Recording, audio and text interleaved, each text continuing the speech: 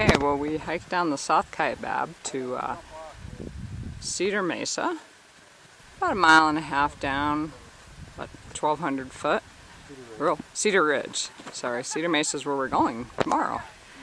Um, nice. It is neat to be in the canyon.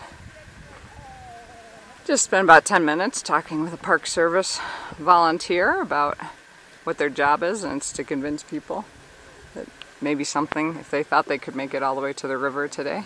Let's take you back to the more interesting. Whoa, hope you're not getting too dizzy. Okay, here.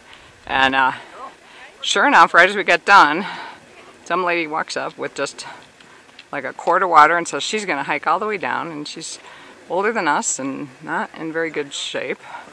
And so he's doing his job. There's photographer Paul.